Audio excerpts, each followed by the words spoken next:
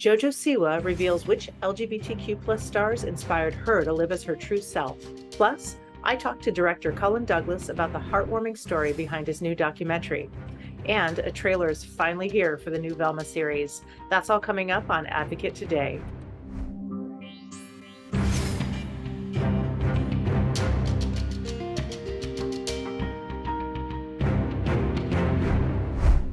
Hi there. Welcome to Advocate Today. I'm Tracy E. Gilchrist, and happy LGBTQ History Month.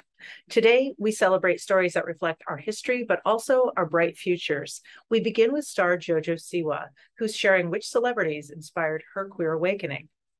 Siwa took to social media to participate in a trend where users tell a personal story to the beat of Super Freaky Girl by Nicki Minaj. She tells the story in three parts. In part one, Demi Lovato's Cool for Summer song got the ball rolling for Siwa. In part two, Jenna Dewan's Magic Mike performance on Lip Sync Battle piqued her curiosity.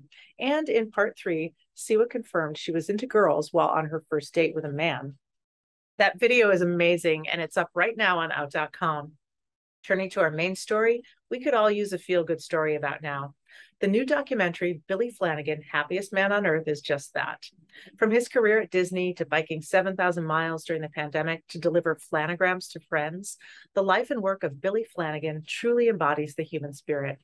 I spoke with director Cullen Douglas to share more about Billy, his impact, and what viewers can take away from the film. I would just love to start by asking you how you heard about Billy's story. I started to hear, or rather see, on Facebook. Um, I over 20 years ago, I was a performer and a show director down at Walt Disney World, and I still have a lot of friends that are, are still cast members down there.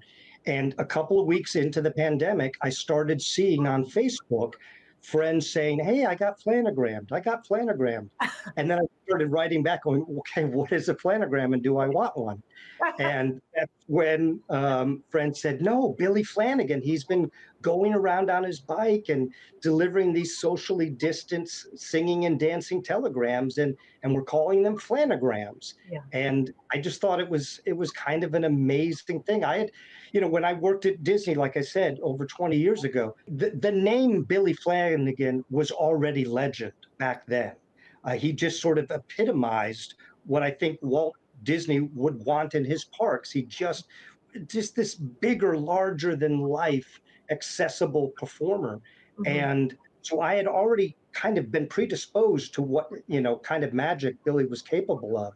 But then seeing what he was doing when we were all locked down and kind of scared and not knowing what was going to be happening next, this small act of kindness that he was extending to folks just really kind of gave me hope.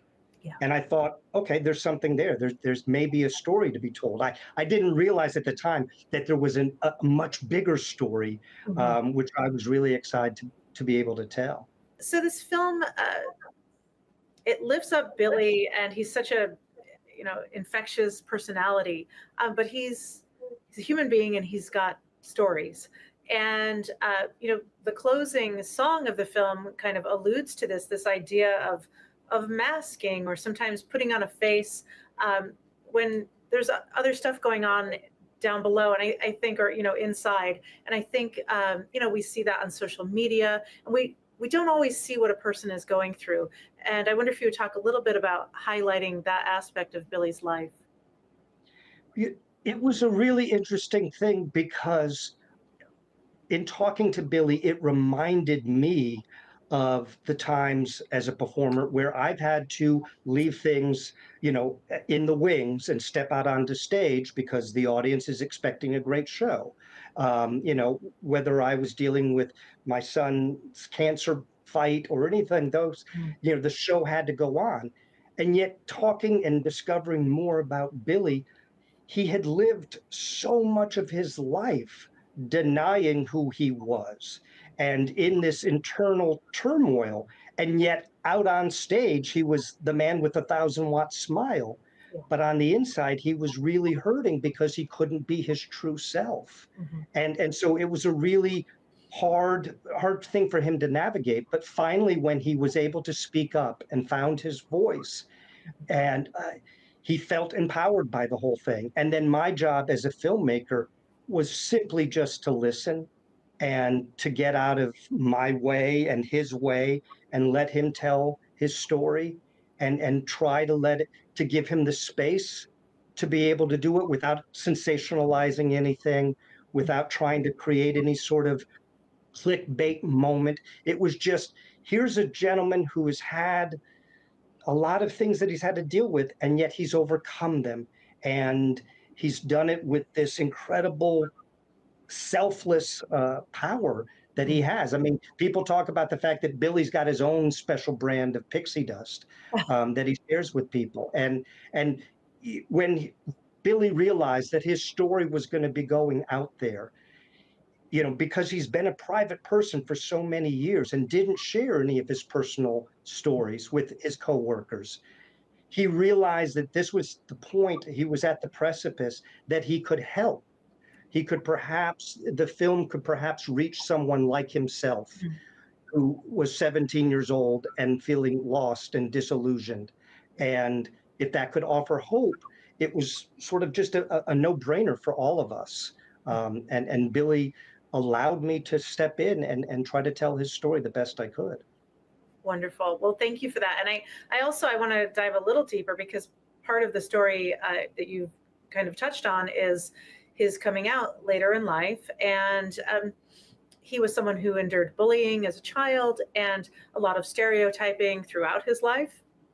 And I wonder if you could touch on the idea of holding grace for people who are on their own journey of self identifying and coming out. It really was an interesting thing for Billy because he was so incredibly, and to this day is is so incredibly dedicated to his family, and has raised an incredible humans. They they really have. They are all just versions of Billy and his ex-wife Karen. Um, but again, the fact that it took Billy as long as it perhaps did, that's his journey. And you know, there's there's no space for me to make comment on the fact that you know perhaps I feel like it might have taken longer or he should have said something sooner or discovered it sooner. Billy's coming from a generation where he was not allowed to, to open up. He was not allowed to speak his truth. And it was just something that he had to continue to push down and push down until he almost started to believe the narrative himself. Mm-hmm. And it was finally, I think, that through the efforts of, of, of things like the advocate and, and, and slowly folks that are within the marginalized community slowly trying to be able to find footing and acceptance that it allowed Billy to kind of open up the door a little bit and say, you know what, I've, I've been dealing with a lot of stuff here and, and maybe I can I can share my truth. The, the thing that was really heartbreaking uh, for me was to see how it did really impact and hurt his family in so many ways, but in a wonderful way. And again, just getting out of my own way and letting the film do what it needed to do. Billy was able to assemble his family, including his ex wife, to watch the final cut of the film before I locked picture and, and added music. And they watched it together in Billy's home. And Billy called me and, sorry, um, he said that the film was starting to heal his family and that they were able to talk about things that they had never done. And from that point on, I, I, was like, you know what? Regardless of what happens with this film, if in me telling this man's story has brought healing for him and his his family, then I'm I'm done. I'm good. Everything else is just sort of gravy from this point forward. I have no reason not to be the happiest man on earth.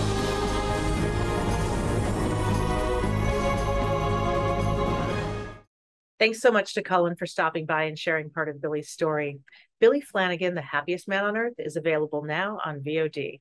Lastly, today, Velma has made headlines as of late with the confirmation that the character is a lesbian. With Mindy Kaling voicing Velma, the show dropped its first trailer at Comic Con. Just days before, Velma's sexuality was confirmed in the movie Trick or Scooby Doo. In a statement on Instagram, Kaling said Velma will, quote, struggle to navigate the pitfalls of high school, her budding sexuality, and a serial killer intent on murdering every popular kid in town in the new series. I am so excited to watch Velma in this new form. The full trailer is up now on out.com. Pride.com is making history with its first digital cover featuring the stars of the original series High School. The new streaming series is based on the best selling memoir of the musicians Tegan and Sara Quinn and was created by their friend, actor and director Clea Duvall. Stars of the series are Railey and Seazynn Gilliland, along with Cobie Smulders. Go to pride.com for the full feature article on this historic cover shoot and exclusive behind the scenes footage. That's all the time we have for this advocate today. For more content, open the Advocate channel streaming now on Roku, Fire TV, Apple TV, and Android TV. You can also download our app on Android or Apple devices. I'm Tracy E. Gilchrist. I'll see you next time.